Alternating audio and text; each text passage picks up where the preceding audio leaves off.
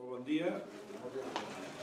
Seguint amb aquestes jornades de l'Institut d'Estudis Catalans, a mi m'ha tocat, eh, diguéssim, fer, diguéssim, eh, les relacions amb la franja de Ponent.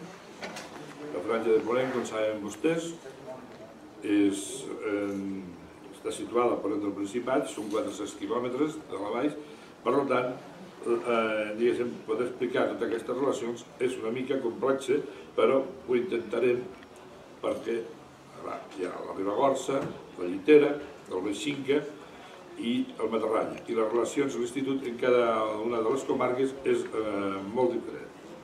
L'Institut d'Estudis Catalans, eh, naturalment, en totes aquestes comarques té una relació institucional amb institucions pròpies del territori, no pot ser política, com saben també en vostès, però eh, des d'aquest punt de vista la relació comença no sol quan es crea l'Institut d'Estudis Catalans, sinó molt abans. L'Institut d'Estudis Catalans es va crear el 18 de juny del 1907.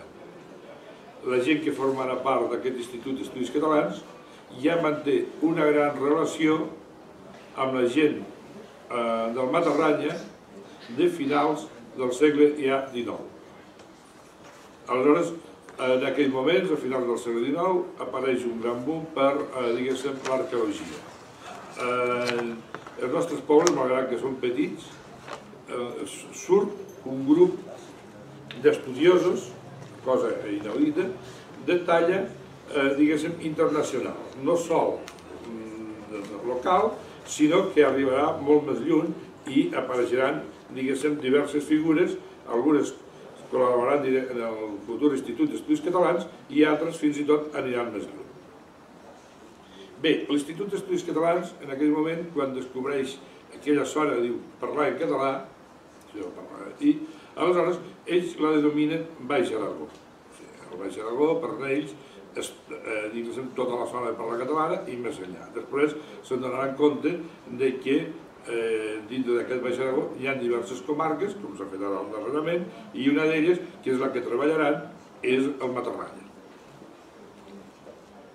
Dintre eh, d'aquesta gent, mm, tenim que parlar, en primer lloc, en Santiago Vidiella i Jassà. Qui és aquest senyor? Aquest senyor és un senyor que estudia dret, fa història i és un especialista en dret aragonès, naix el 1860 i pot viure de rendes, perquè no li cal en aquest sentit treballar, i es dedicarà, diguéssim, a la promoció de la ciència des del punt de vista eh, històric, lingüístic, eh, diguéssim, ciències, principalment el que diríem ciències humanes. Eh, aquest senyor, l'any 1896, publica un llibre que es diu Història eclesiàstica i història més, en si és història de Calaceit. És la història de Calaceit i no sols és la història de Calaceit, sinó que és també la història de la comarca, en part. O sigui que fa, parla també, se'n va més enllà sol de la cosa local. Aquesta eh, obra tindrà una gran repercussió, és una de les primeres històries locals que es fa amb projecció eh, no sol local, sinó comarcal i més enllà, i aleshores això arribarà a Barcelona, arribarà a Saragossa i, eh, diguéssim, tindrà la seva descendència. Llavors, eh, al cap d'uns anys, s'ajunten en aquest grup eh, personatges com en Llorenç Pérez Temprado, que serà secretari de l'Ajuntament de Massolió, eh, Matías Pallares i Gil, de Pedarroja, el Joan Cabré Aguiló, que serà arqueòleg nascut a Calacell, eh, Julià Jerique, Ruiz, també de Calacell, i també de Calacell, Maria Galindo i Garcia. Tots aquests personatges form, eh, arribaran a formar el butlletí d'estudis de, eh, de geografia i història del Baix Aragó. Actualment estic traduint, en aquest moment seria butlletí d'estudis d'història i geografia del Baix Aragó. Escrivien en aquells moments en castellà, però després, fruit de la relació amb l'institut, molts d'ells arribaran a escriure i ho faran en català. Aleshores, quan es crea l'institut, hi ha una relació directa amb tota aquesta gent, ja es coneixien. La gent eh, de l'institut, en un primer lloc, tenim en Josep Pijuan, tenim en Guillem Maria de Brocà, el jurista, en Josep Gudiol, en, Josep Godai, i aquesta gent arriba un moment en què fan una excursió només crear l'Institut d'Estudis Catalans a la Franja. Aquesta excursió comença el 30 d'agost i acaba el 14 de setembre de l'any 907. Van des del Pirineu fins als ports actuals de Morella. I amb tota aquesta excursió estableixen tota una sèrie de contactes i programes d'estudi des de la Vall d'Aran fins a l'Ebre. Naturalment, està circunscrit a la part de Ponent entre el Noguera Pallaresa i el Cinca, o sigui, agafa totes les comarques de la Franja. Aquesta relació vindrà, donarà que a Calacell s'han començat unes excavacions importants, s'ha començat un fill de Calacell, que serà arqueòleg, el Joan Cabré Aguiló, eh, han, eh, han tingut prospecció de cara a, a Madrid i a Barcelona i també internacional, perquè, entre altres, hi ve l'Obermeier, eh, de, de Suïssa, hi ha tota una sèrie d'estudiosos que s'hi sumen i aleshores el Cabré agafa fama i el fitxa el marquès de Terralbo i el fa director del Museu de Madrid. Aleshores, quan el fa director del Museu de Madrid, les excavacions les agafarà l'Institut d'Estudis Catalans. L'Institut d'Estudis Catalans, que ja estem a l'any ja s'ha consagrat, ja s'ha fet la fundació, i ha agafat els estudis, diguéssim, eh, arqueòlegs, aleshores comprarà els drets. Comprarà els drets que tenia el Cabré per excavacions i aquest grup, i a partir de l'any eh, 1914 enviarà a un jove arqueòleg famós, format a Alemanya, que serà en Pere Bogimpera. Pere Bogimpera arribarà a Calacell i, per cert que ell ho explica, i arriba amb tartana la primera vegada, o sigui, no arriba en cotxe, sinó en tartana, va amb tren fins a Mora, i a Mora, quan baixa, agafa una tartana, eh, passa per Corbera, passa per Gandesa i arriba a Calacell. A Calacell s'instava, a més ho explica en les seves memòries, a un famós hostal, que ha sigut famós no sols a la Calacell, sinó a tota la comarca, que es dia l'hostal d'en Sorribes. El propietari era un senyor que es dia Salvador Sorribes. Bé, doncs eh, Boix Impera eh, farà, no sol serà un any, sinó seran 10 anys seguits d'excavacions sistemàtiques. Bé, aquestes dues excavacions comencen al 1914 i acabaran al 1923 perquè les acabarà en Primo de Rivera que instaurarà, diguéssim, la dictadura i acabarà amb tot aquest moviment.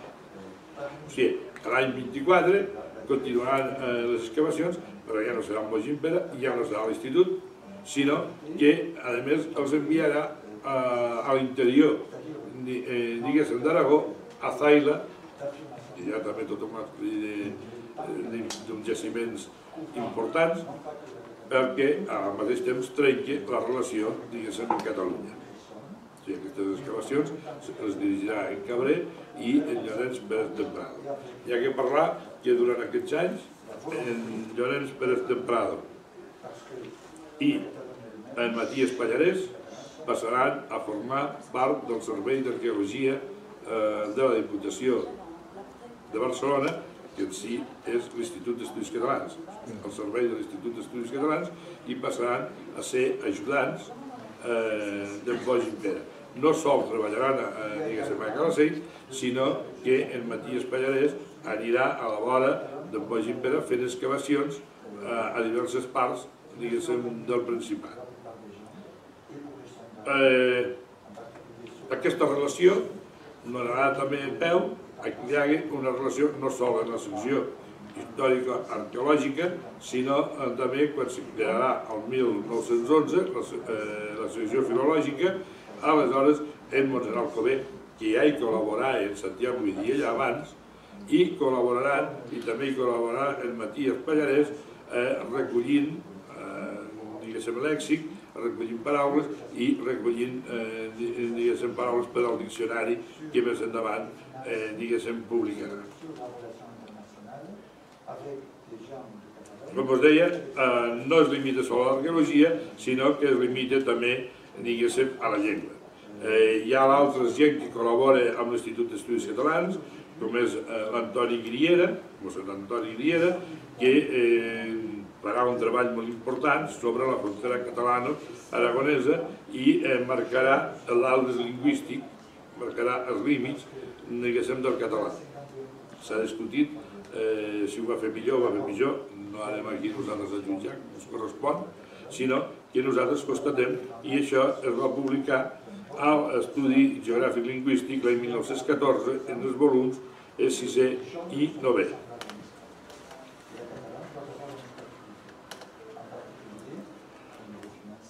Bé, tota aquesta relació es veurà troncada amb la dictadura del Primo de Rivera. Després, eh, en els anys de la Generalitat Republicana, costa molt de tornar a entroncar. Molta gent dels que havien col·laborat ja s'havien mort, en Vidiella va morir l'any 29, i els anys de la Generalitat Republicana les relacions no són tan esplèndides com havien sigut abans. Eh, també hi ha que recordar que no sols és el Matarranya, sinó també és a la Ribagorça, que l'any 1907 hi ha una excursió de l'Institut d'Estudis Catalans i eh, faran una funció molt important que serà irà endavant els, eh, diguéssim, els estudis romànics. Aquest tapal serà, beneficiarà Roda i Roda, eh, d'Isàmena, agafarà una projecció important i ens en compte que ha sigut a l'institut i ha fet aquesta projecció de donar a conèixer eh, l'art romànic de tota la Ribagorça. Vindrà serà la compra d'obres d'art, serà una, una, una, una altra relació i eh, això anirà endavant. Els anys, com es deia, de la Generalitat Republicana, això s'entronca, no hi ha eh, massa relació, sí que els anuaris, perquè hi ha una cosa, l'anuari de l'Institut d'Estudis Catalans, que és la gran publicació, l'obra mestra, començarà a aparèixer les relacions amb la franja a partir de l'any 7.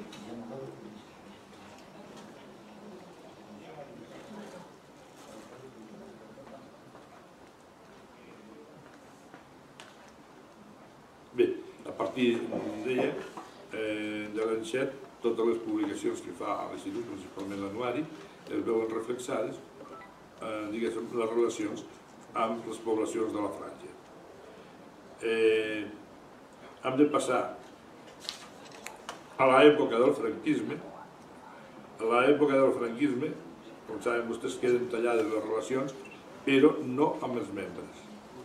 Els membres de l'Institut d'Estudis Catalans amb la clandestinitat, seguiran treballant i se'n preocuparan també de les terres de la franja.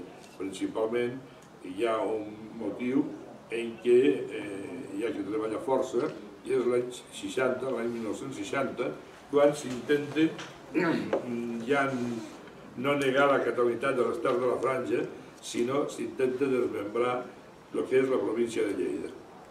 Hi ha un intent molt seriós que eh, la província de Lleida passi a l'Aragó.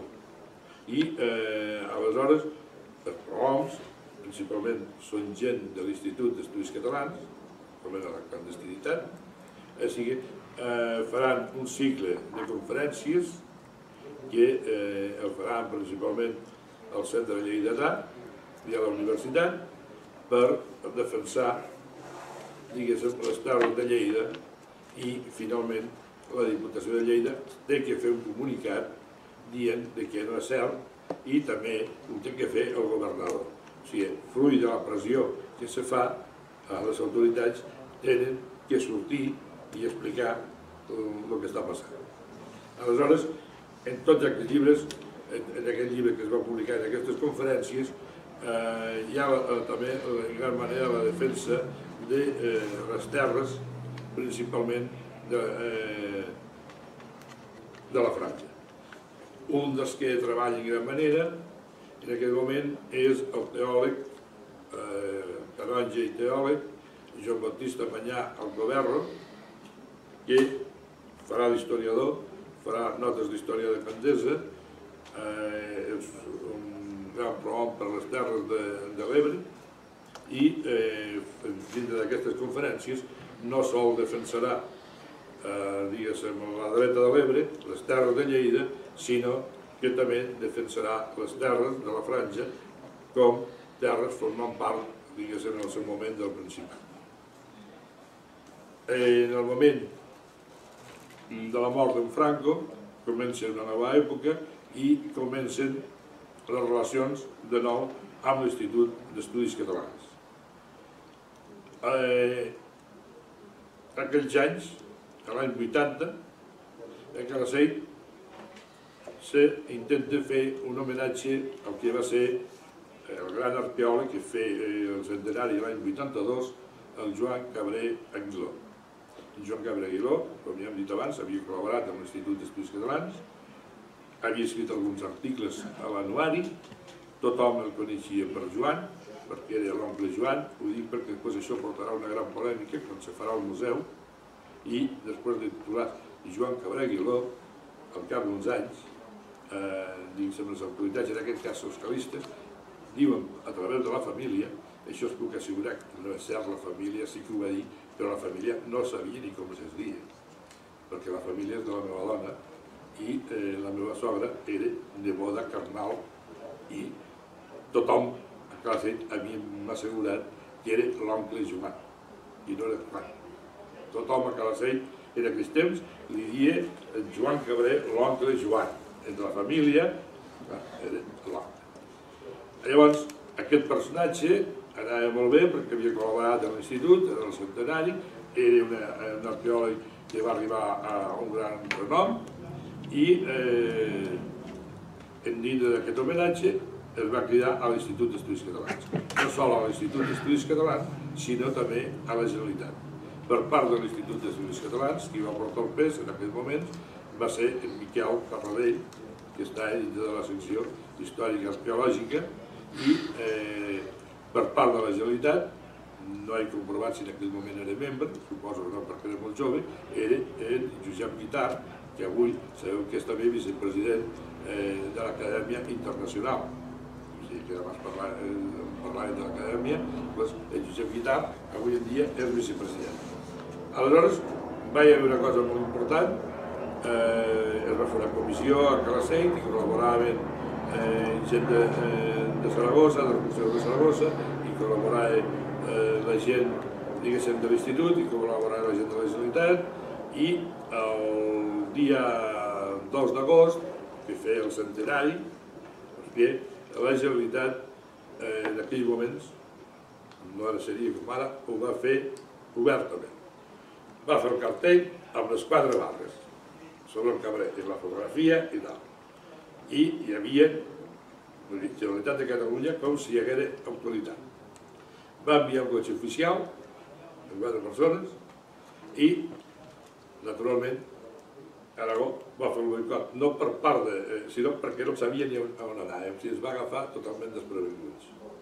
I, naturalment, qui va fer el discurs institucional va ser el Josep Guitar, que en aquells caps, moments era el cap de servei de eh, la Generalitat de Catalunya d'Arqueologia. Després es va fer també un gran homenatge a la seu de l'Òmnium Cultural, l'Òmnium Cultural, que està al carrer del Mases, allà hi va intervindre eh, Miquel Torradell, es va publicar un llibre sobre la prehistòria de la vall del Matarranya, el pròleg és de eh, Miquel Torradell, el llibre es va encarregar un estudiós, jo també hi vaig col·laborar, eh, que va ser en Milles i Vallverdú, un especialista en, en art rupestre, i eh, al cap d'un temps, com a desgreuixe, eh, les institucions aragoneses van venir al poble, van fer un acte i van posar una placa perquè d'altres ja l'havien posat una altra. O sigui, l'organització ja en formava part. Bé, així, diguéssim, va començar una nova eh, relació amb l'Institut d'Estudis Catalans. Aquesta relació va anar ràpidament augmentant i eh, l'any 1986 es va convocar el segon Congrés Internacional de Llengua Catalana. Per nosaltres aquest congrés a la Franja va ser una cosa molt important, perquè nosaltres eh, vam fer eh, més de 60 actes per tots els pols de la Franja i ens hi va col·laborar en gran manera l'Institut d'Estudis Catalans, pensem que el president de, del Congrés era el doctor Antoni Badia i Margarit i a la vora d'ell hi, hi havia en Martí Castells, eh, l'Antoni Ferrando, aleshores tota aquesta gent es va passejar i van fer les seves col·laboracions eh, per tots els pobles de la Franja, des de Pirineu fins als ports de Morella.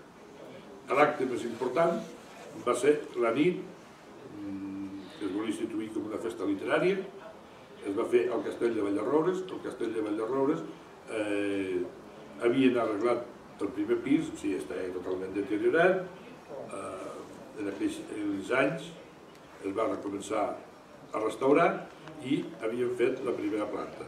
Aleshores es va aprofitar per inaugurar amb la nit important de les lletres catalanes de la franja i va ser tot un aconteixement.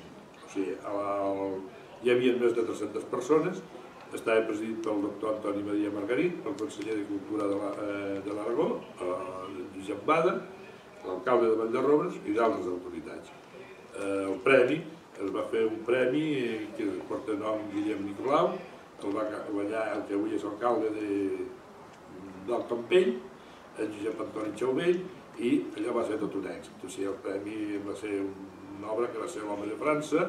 Eh, penseu que es va dotar el premi en 500.000 pessetes de l'època, serien 3.000 euros actuals, estem parlant de l'any 86, medalla d'or del Congrés i publicació de l'obra. O sigui, Aragó, les institucions aragoneses, es van fer càrrec de la publicació i de convocar els següents anys. Fins fa pocs anys, en cada any, el mateix pressupost, no hi havia medalla, eh, la publicació la feien com podien i eh, donaven, això sí, donaven 3.000 euros. Fa uns anys van treure, eh, van treure els 3.000 euros i finalment van treure el premi. I ja ni el convocaven, convocaven el premi sense dotació. Això sí, diuen que publicarien l'obra. I després finalment ja s'ha acabat.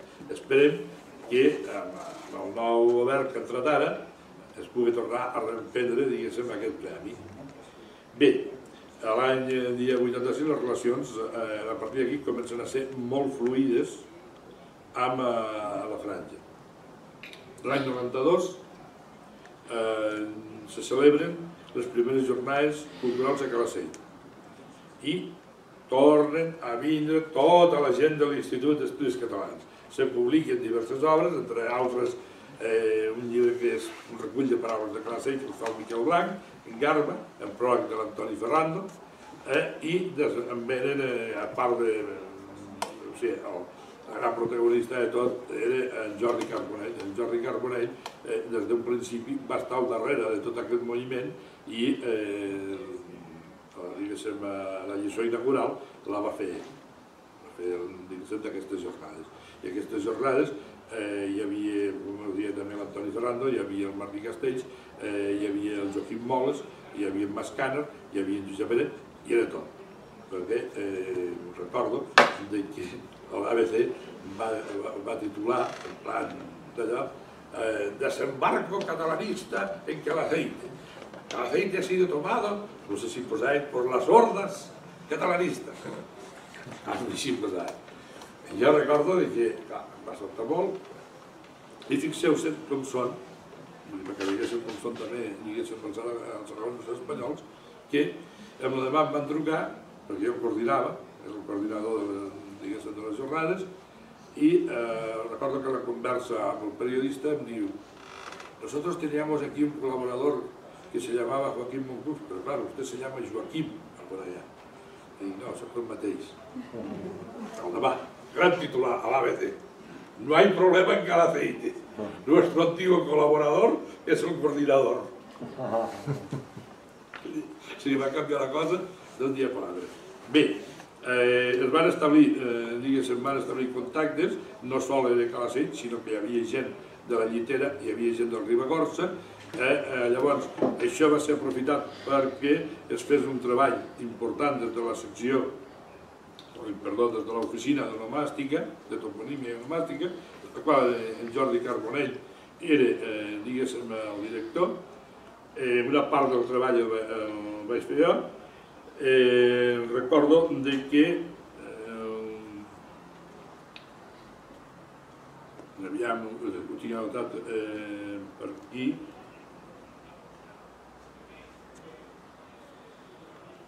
ah sí, el 15 de desembre de l'any 1995 la secció filològica va aprovar els topònims del Matarranya. O sigui, a proposta d'en Jordi Carbonell, sota la direcció, i jo vaig fer tot el, eh, tot el treball, i restava per publicar, que encara no s'ha publicat, la resta de la franja. Es va fer la toponímia major, això volia incloure municipis, rius i els accidents geogràfics més importants. Eh, uns anys després, o sigui, l'any passat, perquè eh, aviam, cada any hi havia coses a la, a la franja, però fem un resum, si no ens allargarem. Aleshores, uns anys després, el 1997, eh, la secció filològica determina de fer unes jornades, com fa diversos territoris, eh, diguéssim, a la franja. I escollís la Fundació Noesis, on es van quedar la gent a dormir, de Calacell, i eh, el Palau Montcada de Fraga. Això es va fer entre els dies de 7 i 18 d'octubre de l'any 97. Eh, van col·laborar molta gent de la zona, tenim aquí de demostrar-los el llibre, sigui, es va publicar dos anys després, va ser publicat el llibre, van vindre eh, 12 o 14 membres de la secció filològica, l'institut va posar un, eh, un, un petit microbús i devia cabre un, un autobús perquè em sembla que hi anaven més de 30 persones. I eh, els actes van fer un gran èxit, diguéssim, a Calacell, i van dormir a Calacell i l'endemà pel matí es van fer els actes a Fraga i també van tindre un gran èxit. I col·laboraven eh, gent com en Josep Maria Becana que eh, després serà un, eh, diguéssim, el gran responsable del Partit Socialista diguéssim, a la zona, serà el president i eh, serà diputat a Madrid. Ara em sembla que està de senador. I eh, hi ha un compromís eh, a través de les autoritats aragoneses amb l'Institut d'Estudis Catalans, eh, per eh, promoure la llengua i la cultura. Això es veurà després, eh, costarà, eh, estem al, es publica el 99, i la llei de llengües, aquí se va, quan se va lligar la llei de llengües, es va prometre, la llei de llengües no vindrà fins a 10 anys després, des del 2009. Com saben vostès, és una llei de mínims que no dona com a eh, cooficial el català a la zona, però sí que eh, li dona moltes avantatges i eh, quan arriba el govern del PP Par no els agrada i ràpidament el va revocar ja saben vostès l'escàndol que va haver amb una història molt rara que li diuen la La Pau. No, val, no parlant perquè això espero que quedi enterrat i ningú se'n recordi. Bé, doncs va ser en aquestes jornades eh, que van tindre, diguéssim, un gran èxit i que els membres de la secció filològica es van passar a passejar per Calacell. Fruit d'això, el 4, no, el 14 de, de desembre de l'any 1998 va entrar, eh, diguéssim, el primer membre eh, oficial, podríem dir, de la franja a l'Institut d'Estudis Catalans, que és Ramon Sistac. Abans eh, d'alguna manera havia estat vinculat la, eh, a l'Artur Quintana, eh, no sé ara eh, fins si es podia considerar membre, jo he mirat no, ara, no el consideren com a membre, però sí que tenia una vinculació molt important amb l'institut. Ah, llavors, aquest, eh, diguéssim, Ramon Sistac, eh, el, uns anys després, el novembre del 2005, se crearà la delegació eh, de llei eh, de l'Institut d'Estudis Catalans de Lleida, que eh, també, eh, diguéssim, abarcarà a la zona de la franja. Aleshores, eh, Ramon ha, convocat algunes jornades, ha començat aquesta fluidesa i ara, diguéssim, la franja, eh, diguéssim, tant el Matarranya, que hauríem d'estar més a la zona de Tortosa, eh, com eh, tota la, franja nord, eh, diguéssim, està vinculada i se n'ocupa una persona que és el Ramon Sistany.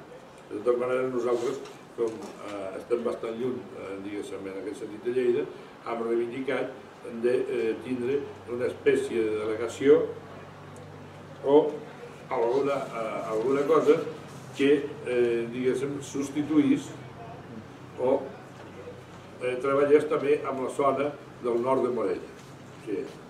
O eh, l'institut ja se n'ocupa i té els seus, eh, eh, diguéssim, els seus membres del País Valencià, però entre, diguem, entre l'Ebre i, i València, en Castelló, hi hauria que fer alguna cosa per cobrir l'antic territori de la diòcesi de Tortosa. Eh, s'ha intentat, s'ha intentat eh, fer una fundació, eh, com la que l'Institut està treballant a Benassal.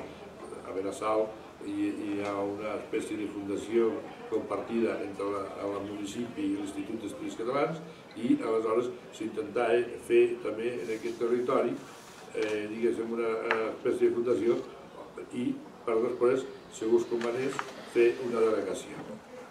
I aquestes són, diguéssim, les relacions que eh, es van mantenir.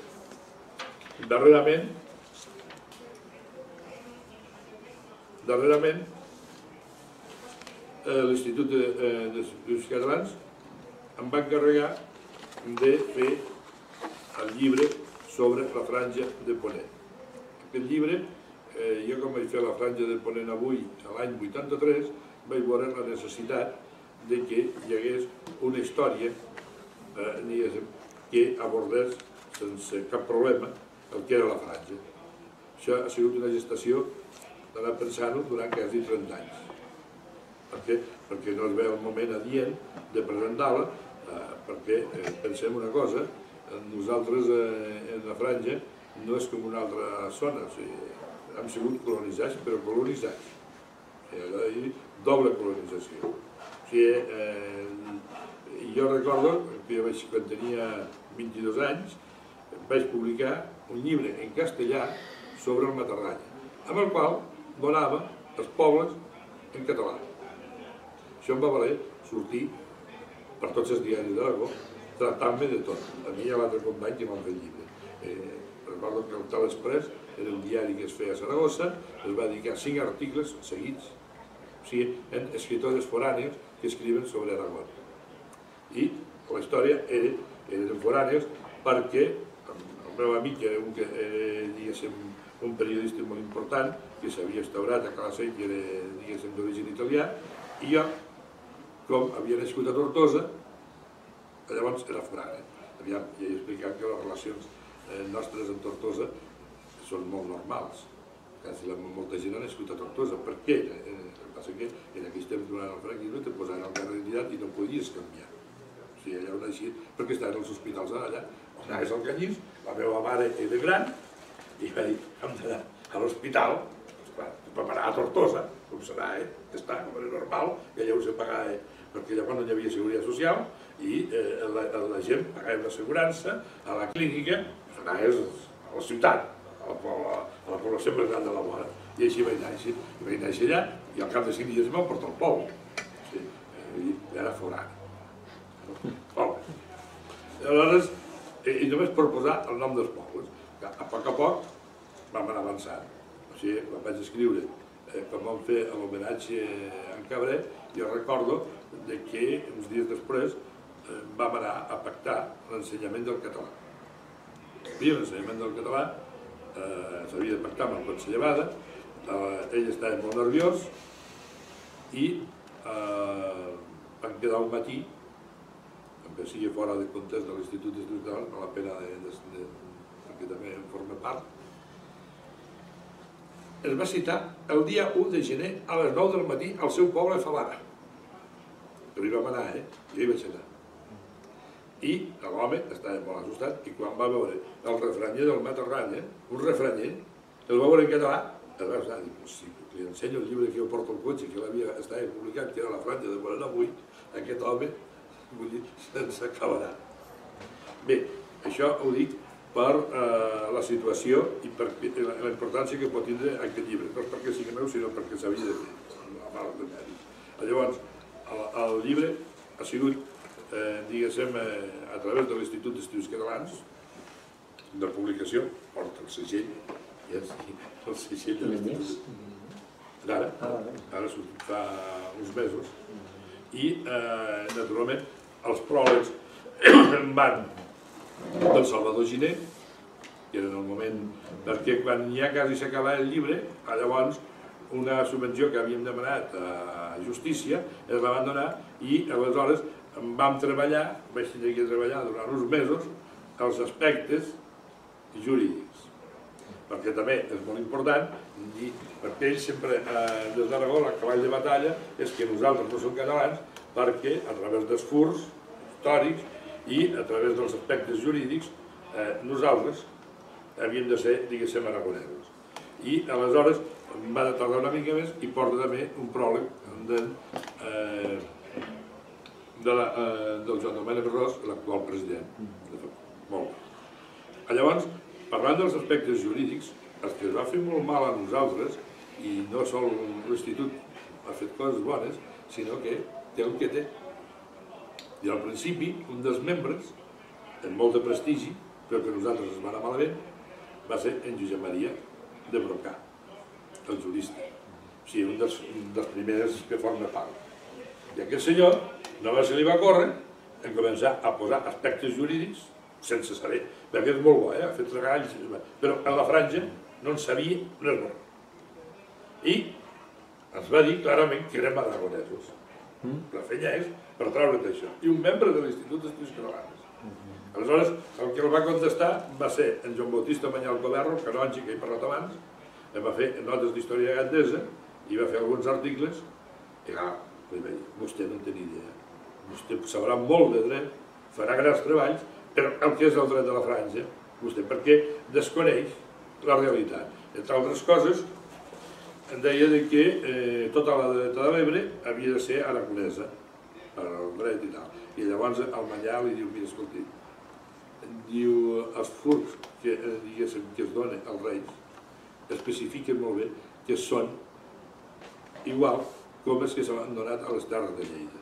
Nosaltres som poblats per la gent de Lleida, i li expliqui molt clar. I aleshores, gràcies al Manyà, després hem treballat altra gent, bé, ens, han, ens van poder treure aquesta llosa que havia marcat aquest gran jurista i que els, diguéssim, aragonesos, i en aquest cas els espanyols, se n'aprofitaven. Vull dir que ens, ens ha costat. Bé, aquesta és, eh, diguéssim, eh, la història, a grans trets, de les relacions de l'Institut d'Estudis Catalans amb la franja. Ara són fluïdes, en gran manera, perquè no hi ha distàncies i, eh, naturalment, eh, la franja, els pobles de la franja, malgrat aquesta separació, formen part del Principat. O sigui, les lleis una altra història, perquè clar, si la Generalitat dicta unes lleis, nosaltres depenem de les lleis de, eh, de l'Aragó. Però amb les relacions humanes, socials i com vulguin dir-li, això és fruit de,